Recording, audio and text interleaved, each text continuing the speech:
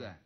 很多人啊都爱吃菠萝，但是大家呢都觉得菠萝的皮呀太难去了。是是是这么个问题。那大金哥这事儿说的很实在。嗯，菠萝这皮呀确实很难削，但是它这皮有很多妙用，那不是垃圾呀。一个字儿省。对 对，大家呢这样的小妙招啊，大家肯定都喜欢。对，比如说啊，大金哥，首先喜欢养花的人，那个菠萝皮削下来之后，别急着扔，干嘛呢？把它做成菠萝酵素，这是一个非常非常好的花肥。嗯，哎，你看我就养花啊，用它来做花肥。酵素是改善土壤最好的材料之一，环保无污染，各种绿植都喜欢。那怎么做呢？就把这个菠萝皮切小块，把水、菠萝皮再加点白糖，按比例混合在一起。什么比例呢？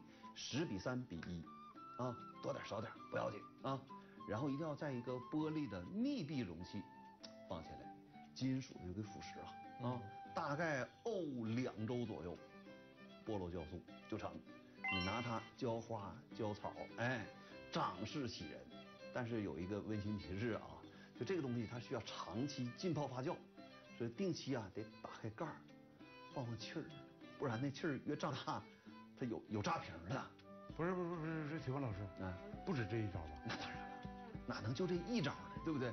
剥了皮的妙用有的是。你比如那锅，锅用久了，锅底是不是有一层垢，对吧？呃，我估计大秦哥您在家应该不能动手干活，哎，是不是？我长期做饭，都做饭呢。那你不能擦锅吧？对的，擦锅是个很麻烦的活，而且耽误时间。一般呢，男性都不爱干这种特别细的活。哎，但是如果说孟总，假如说你在家里擦锅，很讨厌这个事儿，怎么办呢？用菠萝皮，它能够去这个黑垢，效果特别好。把菠萝皮这个啊，就得带点肉，带肉那一面，就带点果肉那一面，在这个锅底啊，带这个黑灰那部分，使劲擦，哎，去污渍特别快。如果这个污渍特别严重，那就加点洗洁精，效果也挺好。另外，你知道吗？嗯，菠萝呀被叫做天然嫩肉粉，为啥说做菠萝古老肉啊？哈，它那个菠萝汁里边吧有菠萝蛋白酶。它可以综合肉类的油脂，让这个肉类啊更加鲜嫩美味，有这样的作用。哎呀，铁峰老师这方法真是太有生活了啊！而且还做到什么零浪费，是吧？特别好。但是咱们能再解决几个问题就更好了。没事，你说吧。我们节目里啊有一位朋友啊叫这个平安喜乐，他说了说家里孩子就是便秘有段时间了。啊，然后在网上呢买的那个通便茶给孩子喝，嗯，但是他说刚才看了一眼这包装啊，那就是一三无产品呢，不管让孩子喝了，就问铁峰老师有没有解决这问题啊？代茶饮特别多，嗯，刚才我说菠萝酵素，其实菠萝酵素就可以缓解便秘，当然这个就不能用菠萝皮了，嗯，这得用菠萝的果肉做酵素，嗯，还有呢，呃，荷叶薏仁茶，啊，弄点这个玉米玉米须子。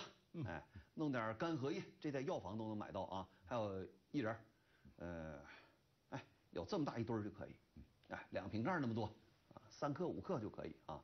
水呢，咱就按一斤算，啊，就这矿泉水瓶子一瓶子，拿这些水煮这些东西，煮开了之后，稍稍给它晾凉一点，就可以喝，到能饮用的温度就可以了。做法非常简单。嗯，我给大家说这原理啊。嗯，这个玉米须子呢，它利尿，它能够增加这个。这个氯化物的排出量，哎，干荷叶呢，清热解暑、利尿通便，而且能生发清阳。嗯，啊，特别提示大家，如果你用的不是药房买来的玉米须，就搁菜市场买的那个玉米，取那个新鲜须的啊，你最好先拿冷水泡它十分钟，然后再用，这样能干净点